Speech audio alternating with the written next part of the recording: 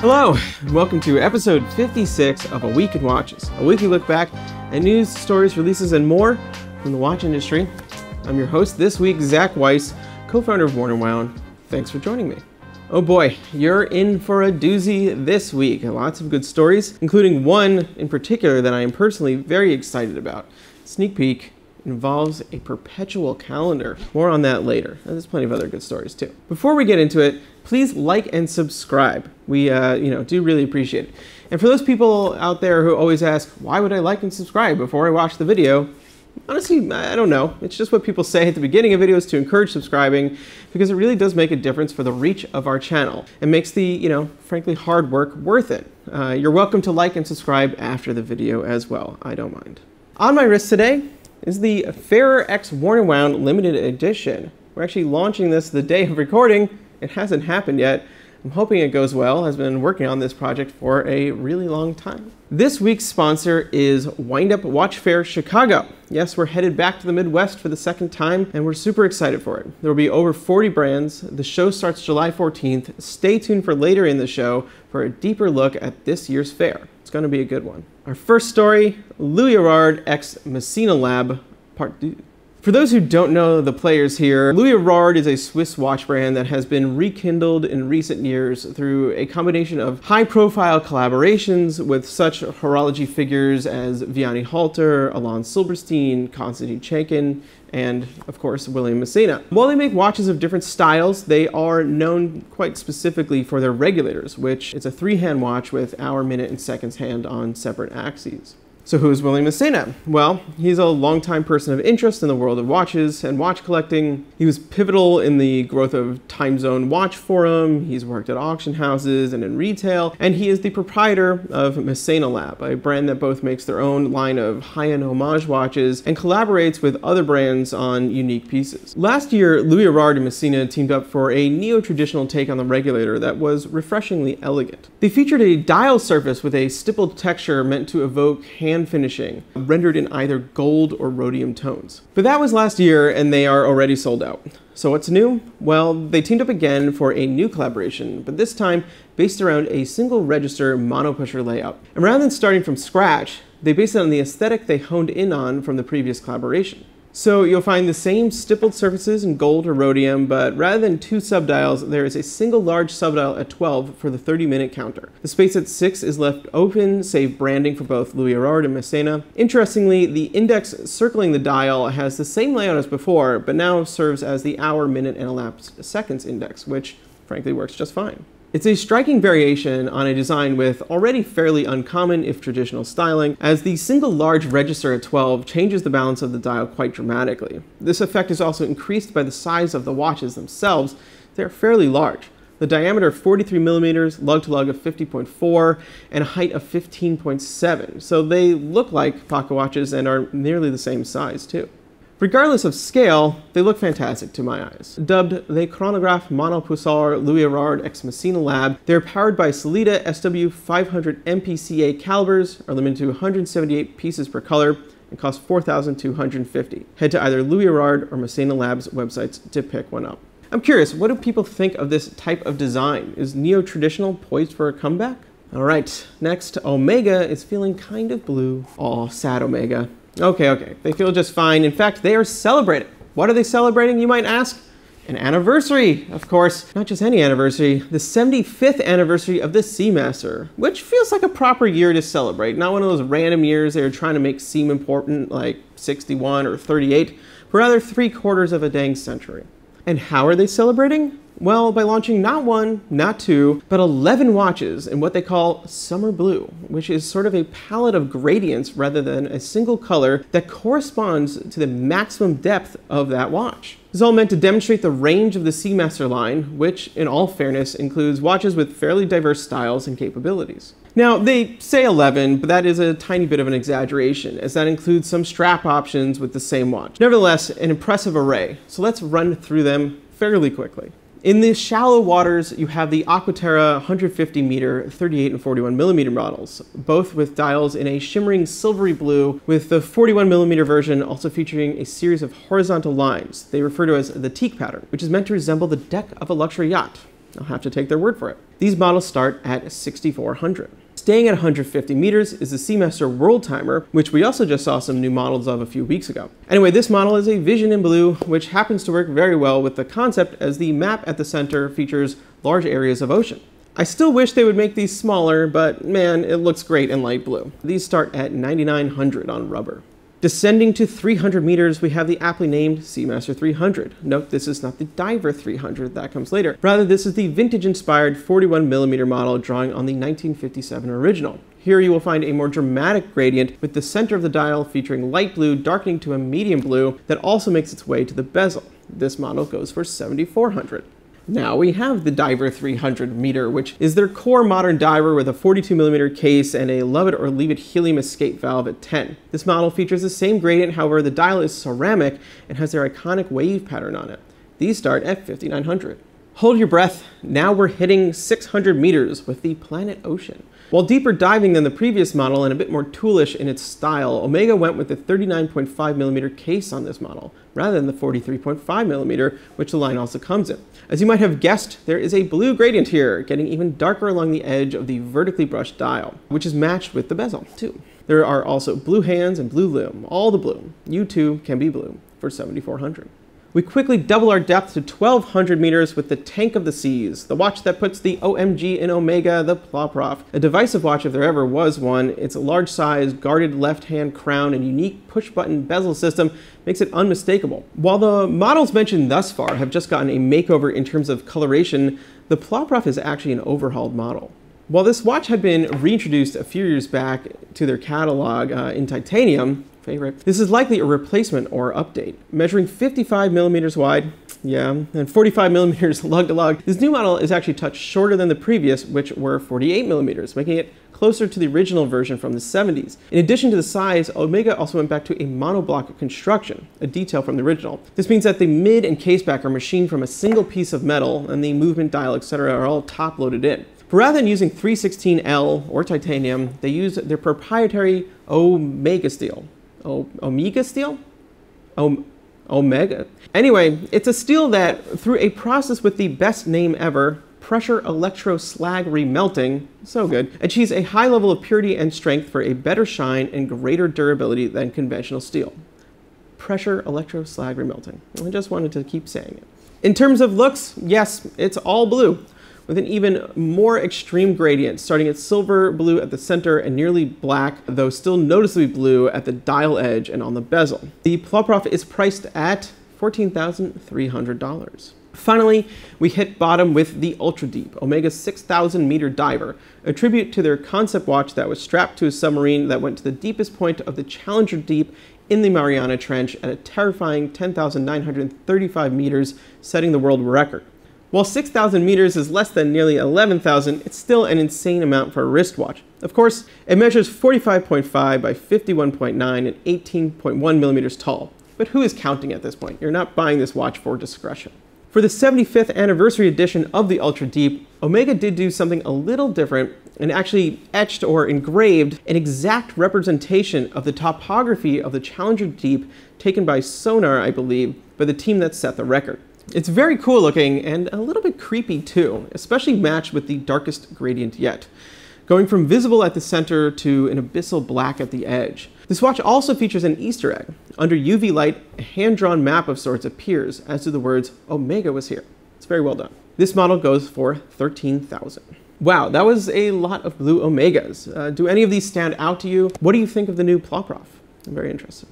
And now a little bit about Windup Watch Fair Chicago 2023. After a successful weekend in San Francisco, the highly anticipated Windup Watch Fair is heading back to the vibrant city of Chicago from Friday, July 14th through Sunday, July 16th, 2023. Returning to Venue West in the heart of the West Loop, we're excited to reconnect with the energy and excitement that makes the Windy City such an integral hub among our community.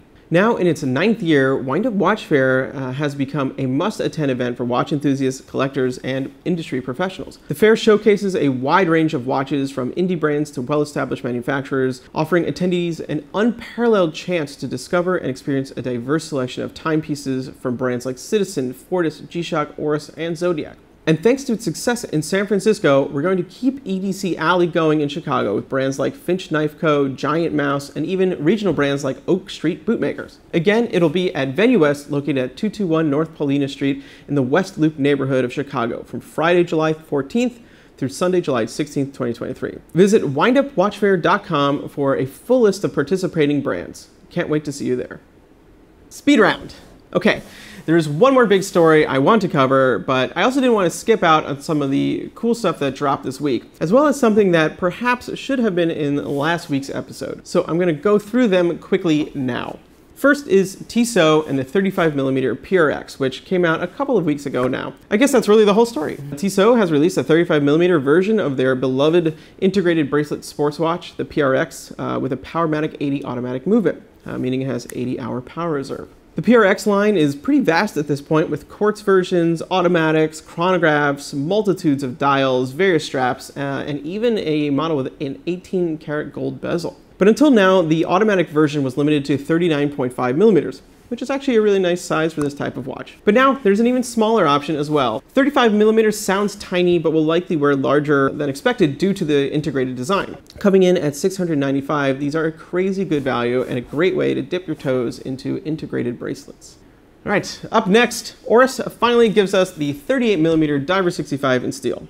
Okay, the Oris Diver 65 30mm has existed for a couple years now, but was for some reason only available in either bronze or as a limited edition. Well, finally, Oris is launching their vintage diver line in the Goldilocks sizing and in steel and with a Sellita base caliber, but not yet with a black dial. They've gone back to their cotton candy colors for a trio of sweets for the summer. So you have bright blue, green, or pink, all with machined steel bezels, which looks very nice and helps balance the saturated dial colors. These watches are available now and cost 2,350 on a Perlon strap or 2,550 on a bracelet. Round 3. Timex teams up with Cara Barrett for a collaboration.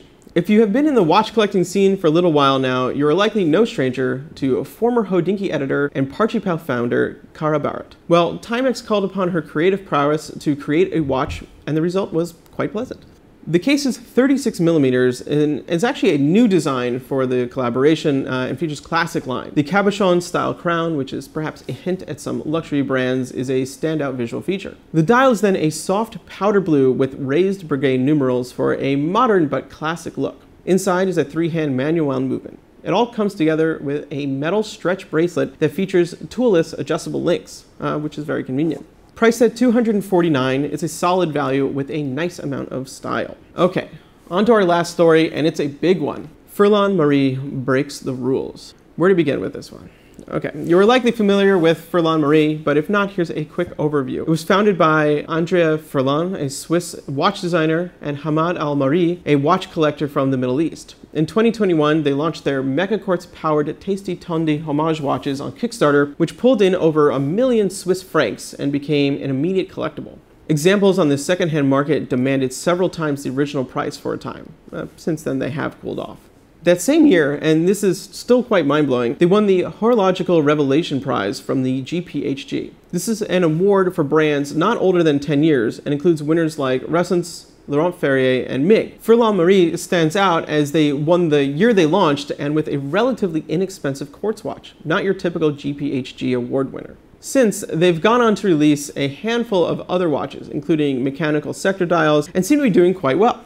Uh, the reason I'm talking about them today is that the 2023 Only Watch auction participants have begun to be announced, and with them come some pretty wild watches. So what's Only Watch? Well, it's an auction of one-off watches to raise funds for research on and awareness of Duchenne muscular dystrophy. It happens every other year in Geneva, and this year will actually mark the 10th edition, making it a bit of a milestone. The brands that participate are generally amongst the biggest and most recognizable in luxury watchmaking from both large groups and independents. Think Patek, Tudor, Breguet, Tag Heuer, Bulgari, Blancpain, etc., but also Urwerk, Moser, Voutilainen, FP Journe, MB&F, yada yada.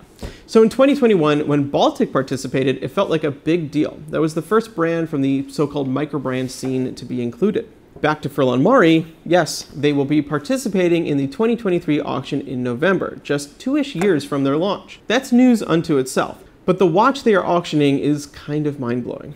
Not kind of, it is mind blowing. You see, in just two years from launch, they, with the help of some admittedly very experienced industry veterans, have created their own secular perpetual calendar module and put it in a watch. So, what's a secular perpetual calendar? Well, if a perpetual calendar is an annual calendar that knows when the leap year is and automatically adjusts for it, a secular calendar knows the rare occasion when they are skipped and accounts for that as well. It's like a perpetual perpetual calendar, or maybe a perpetually perpetual calendar.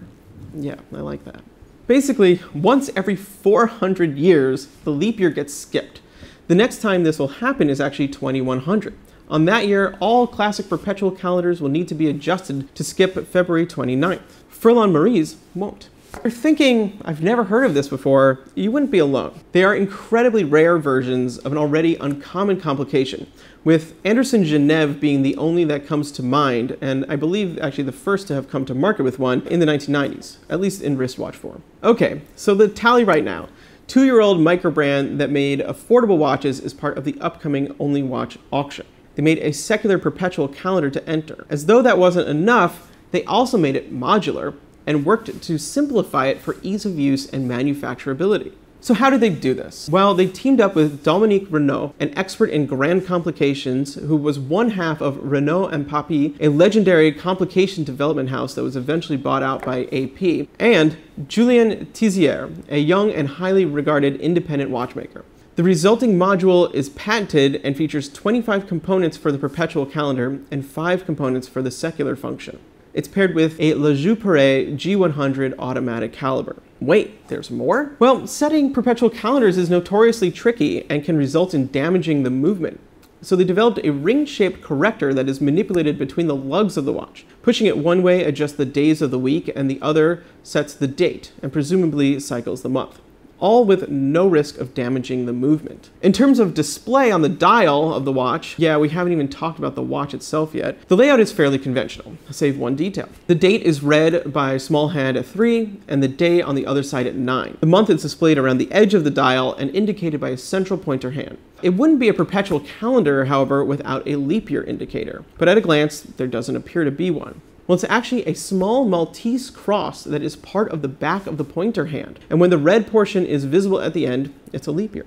Of course, they aren't auctioning a movement or a concept, but rather a watch. So the watch is 39 millimeters and 11.3 millimeters thick. It's made out of rhodium plated silver. The dial is made out of titanium and features regions in blue and regions with a blasted texture, all with engraved indices. The subdials are skeletonized, allowing a view of the hand decorated module below. The hands were made by Julien Tixier, who also decorated the movement, save the rotor, which was beveled by Dominique Renaud and engraved by Coralie Mercier. Lastly, it features a handmade rhodium silver plated Milanese mesh bracelet by Laurent Joliet. So it's a luxurious execution through and through, befitting of the auction.